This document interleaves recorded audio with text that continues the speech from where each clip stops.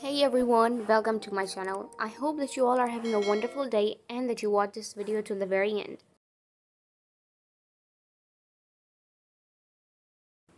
It's possible to continue completing the quest. The success rate rose above 10%. Like the right wire. The status has been disengaged. That's amazing.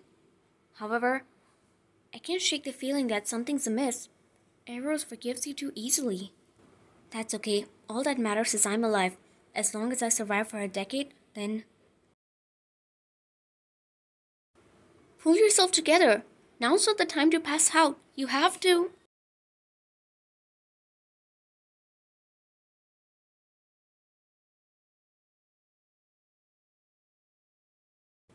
You'd better not lie to me, or there'll be a dear price for you to pay. Ow, he's mean. Get a doctor in here. Copy that.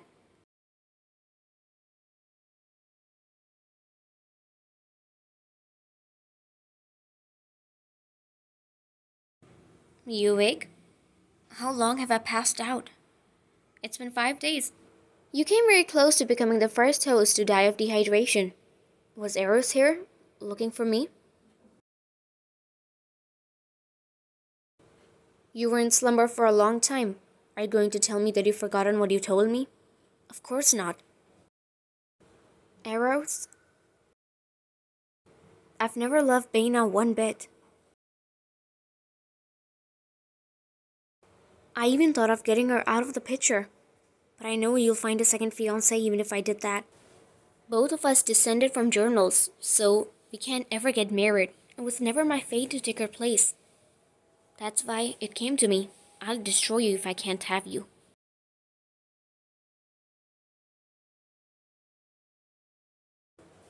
You were the only one I loved. So it is. Have some rest.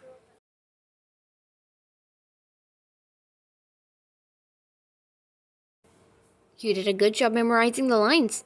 I'll destroy you if I can't have you. Are you sure you didn't borrow the lines from a fellow villain in a boy love genre? Don't forget that you're in a dominant male genre. The protagonist is a typical man. Aren't you worried that he'll kill you out of pure disgust? It's because I'm a typical man myself that I understand him. If one of my buddies set me up and stabbed me because he wanted to take my fiancée away, I'll never let him off. If he did all of that because he loved me, however, then it would have been a much more solid reason. I might be a little taken aback by it, but it doesn't matter, in a manner of speaking. At least he didn't deserve the friendship we had spent years building. He merely invested too much time into it that it muted. I couldn't have held him responsible for my own compelling charm, can I?